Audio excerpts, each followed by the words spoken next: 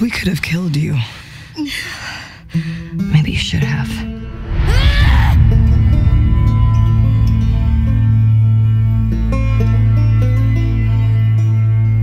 I'm Neil Druckmann, Vice President of Naughty Dog and the Director of The Last of Us Part 2. We're just a few weeks away from launch on June 19th, when the game will finally be in your hands. The wait has been long, and we're extremely grateful for your patience, especially now in the midst of these unprecedented and challenging times. We hope you're all taking care of yourselves and that you, your friends, and your loved ones are doing well. Because of these extraordinary circumstances, we can't be together in this final stretch and share the experience like we usually would. So today we're trying something different. Something we've never done before.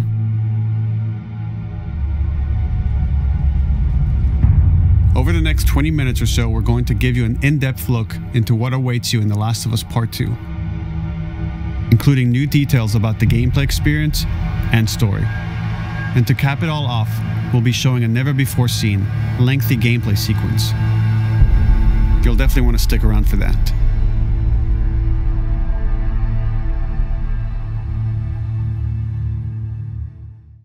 I don't know what happened. I was supposed to take her to the Fireflies and walk away. They were actually going to make a cure. The only catch. It would kill her.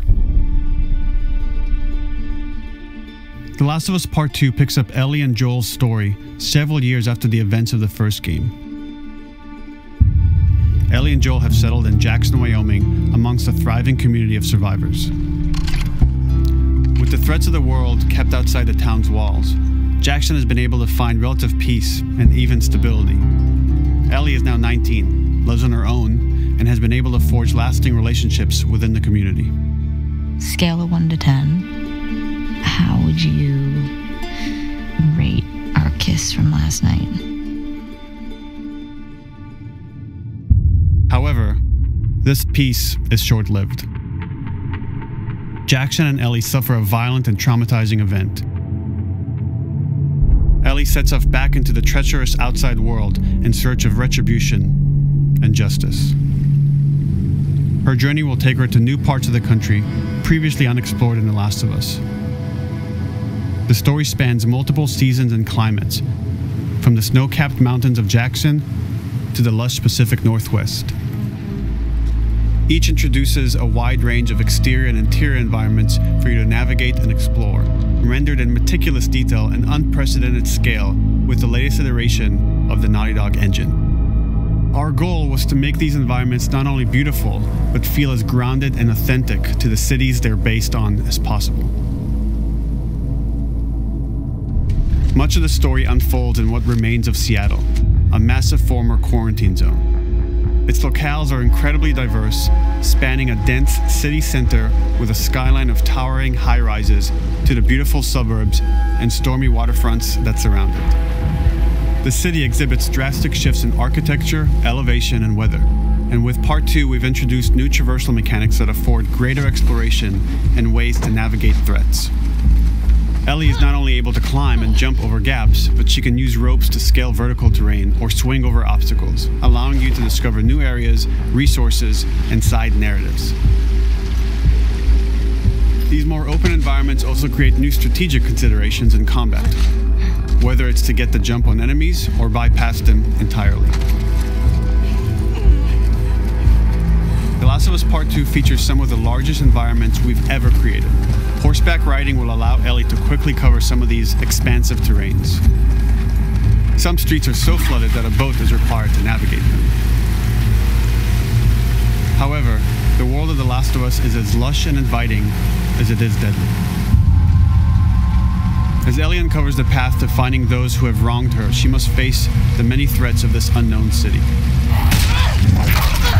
In the wake of the pandemic and the fall of the quarantine zone, Seattle has become a war zone, where two warring factions find themselves in an ongoing conflict for territory and resources. One of these groups is the Washington Liberation Front, otherwise known as the WLF.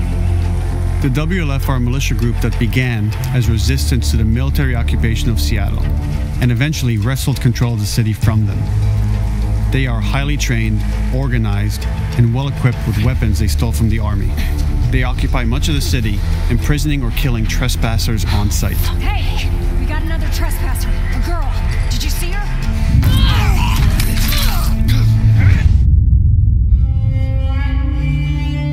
On the other side of this bloody conflict is a group of religious zealots called the Seraphites, or Scars, defined by the self inflicted deep cuts that they bear across their faces. Like the WLF, they're deeply tribalistic and territorial. They're known for being stealthy, using overgrowth as cover, and they use more silent weapons like bows and arrows. Clip her wings.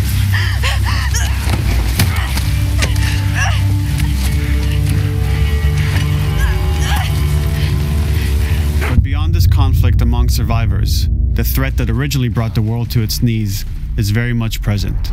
Every human is in danger of falling victim to the infected. There are the recently infected runners who are more numerous and aggressive in this game. The blind but extremely deadly clickers, and the stalkers who sneak and hide until they're ready to attack, surprising their victims with extreme agility and brutal violence. The Last of Us Part 2 introduces new stages of infected, such as the Shamblers. Large, heavily armored enemies that are covered in pustule. Upon getting close to you, they expel a corrosive spore cloud that burns its victims. But our most terrifying and lethal new forms of infected will have to wait until you play the game for yourselves.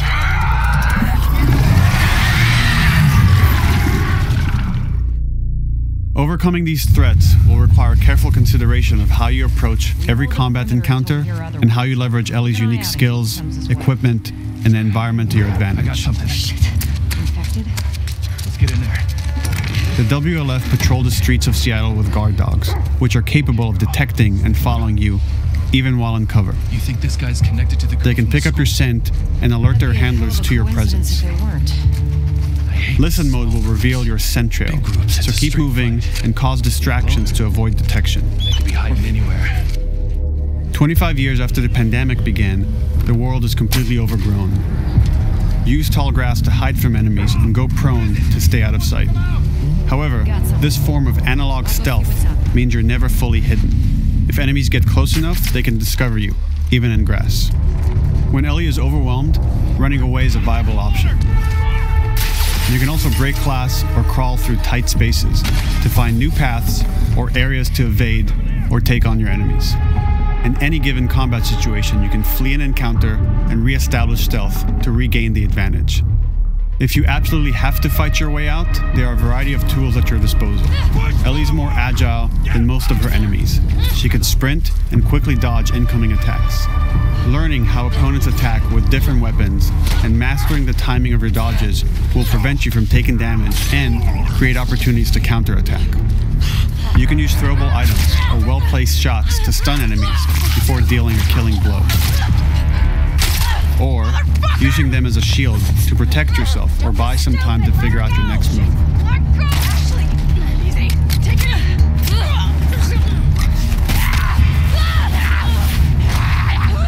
Isn't always alone on her journey. Allies will take part in helping you navigate the environments, spot enemies, and meaningfully help you in combat encounters.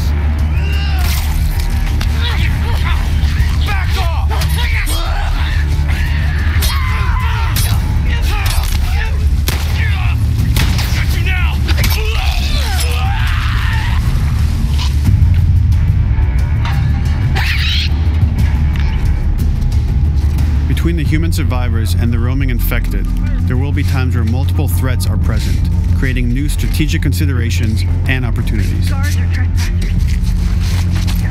You can choose whether to attack these opponents separately and directly, or find ways to pit them against each other.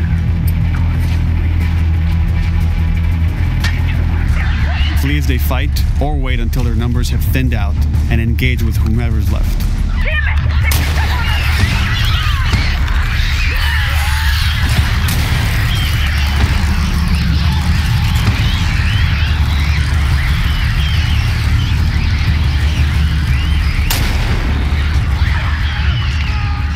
Our goal is to create unparalleled attention, coupled with deep systems that give you greater control and influence over your journey. As you play, you'll be able to invest in a broad collection of crafting items, weapon, and player upgrades through training manuals scattered throughout the environment and scavenging for ingredients. These skills and upgrade manuals cater to a variety of playstyles, and the choices you make will create your own distinct experience. We also wanted to extend that agency and personalization to your weapons through our new workbench system. Scavenge for parts to modify and improve your weapon's performance and attributes, all of which are visualized and become part of your character.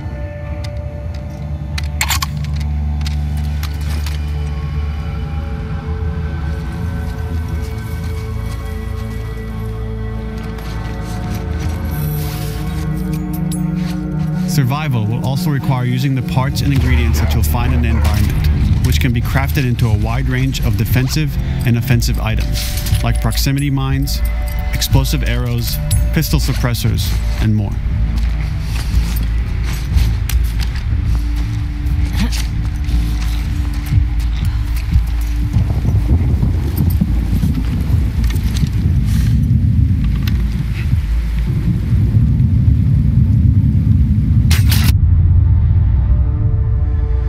These gameplay systems are meant to immerse you in the world and make you feel in lockstep with Ellie's emotional journey.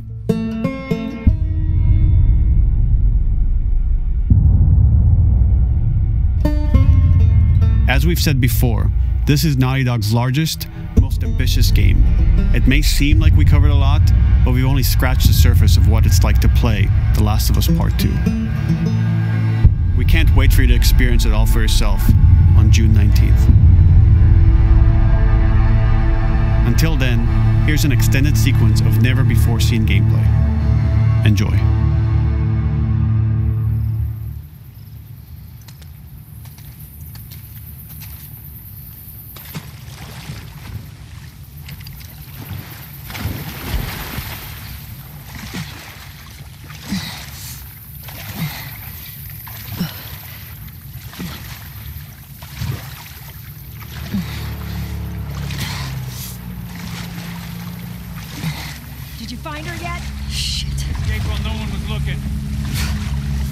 We're the area, just in case she's still around. Isaac's not happy about it. No shit. Escape. What the fuck are they talking about?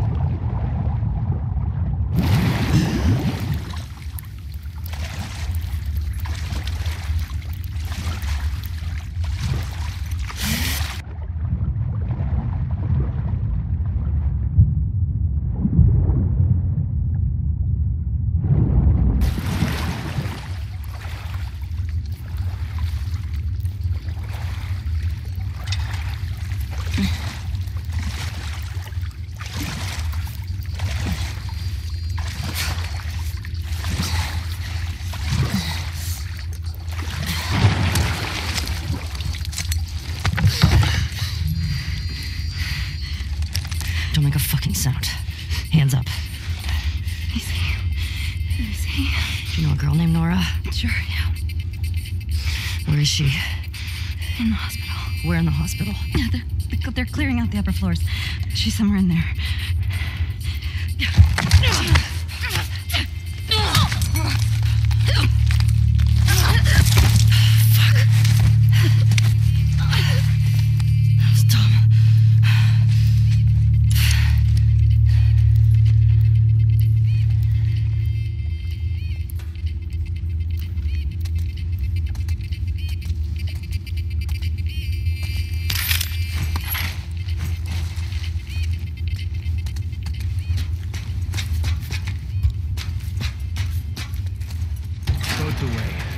Word is we're almost wrapped up. Good. I got my girl waiting for him for Bob. You shit me? They put you with Joe again? upstairs. Hey, we get the job done. I bet you do. Oh, this is not fair. I'm telling you, man. Data soldier. It makes these shifts so much easier. Sure. I'll keep that in mind. Fuck.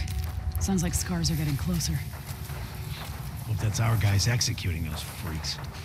Hey, did you hear we're all getting called up to the fob? I heard that Isaac wants us to retake all of downtown. I heard we might take the fight to them. no way. Not after what went down last time. Even Isaac isn't that crazy. It's what I heard.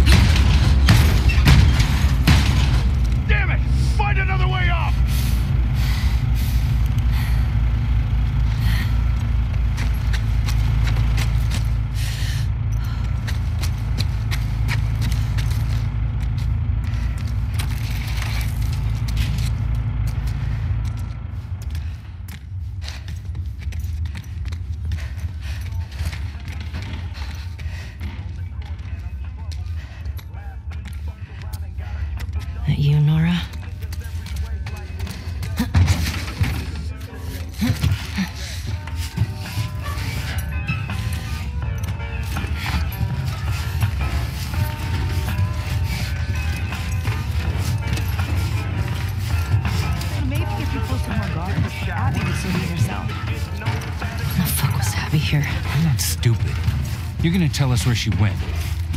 When Isaac talks to us about this, I'm getting tired of this. Nora. Nora! I'm not going down for her, man.